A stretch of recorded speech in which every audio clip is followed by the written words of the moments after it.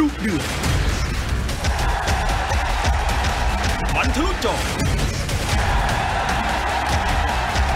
WP Boxing กับนักชกมากความสามารถ อภิเชษฐ์เพชรมณีปะทะมูเช็คอาโดยาจากประเทศรัสเซีย